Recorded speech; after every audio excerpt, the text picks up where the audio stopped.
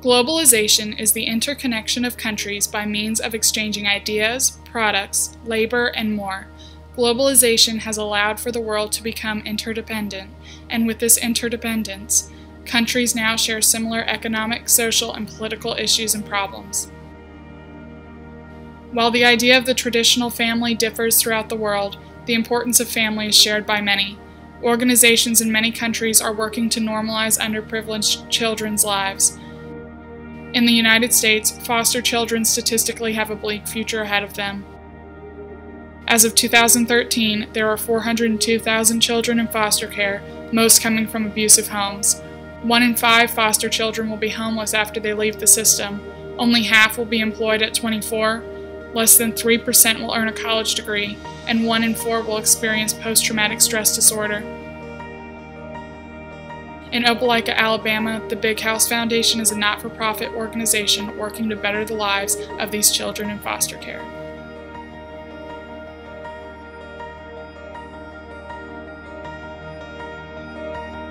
Big House is a nonprofit ministry that serves foster families in our area.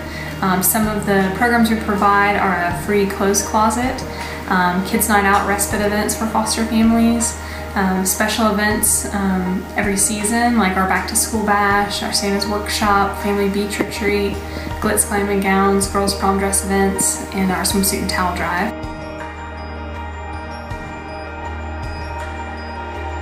The Clothes Closet is run um, solely by donations and um, and a lot of volunteer effort. So um, we have community members donate new and gently used clothing for um, kids and teens, and then we have volunteers sort and organize those, and then our families come and shop, and we serve about 80 to 100 kids per month through the clothes closet. Right now we're working on expanding um, in other communities in Alabama um, through some of our programs. Um, some of our programs like our Glitz Glam and Gowns event um, is available to teens in foster care statewide. Um, we've done a tour in the past two years to go to five different cities um, that way. So we've built relationships in those communities um, through some of our events. And in the spring, we'll be launching another clothes closet in Shelby County um, to help the foster families in that area. Big House supports sustainability of foster families um, in our area by um, just supporting them um, physically uh, through donations, um, emotionally through relationships, um, and we just want our foster families to uh, last a long time, to, um, to feel like all of their needs are taken care of by their greater community uh, so that they can focus on helping the children in their home heal from past traumas.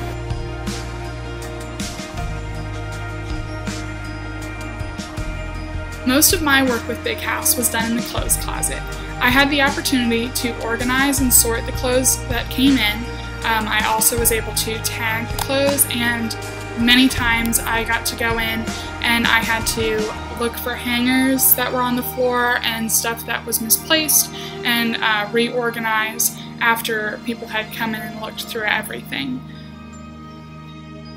From working at Big House, I've learned about the importance of the worker bees, the people that don't have a leadership role but come in and get the job done because the clothes closet wouldn't be run nearly as efficiently without people who just come in and are told stuff to do and they do it willingly and with a servant's heart.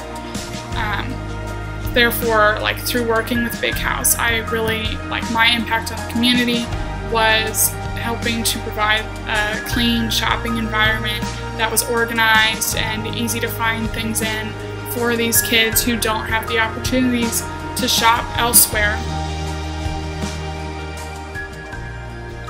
By providing a supportive environment, Big House and many other organizations help give children opportunities for a better quality life.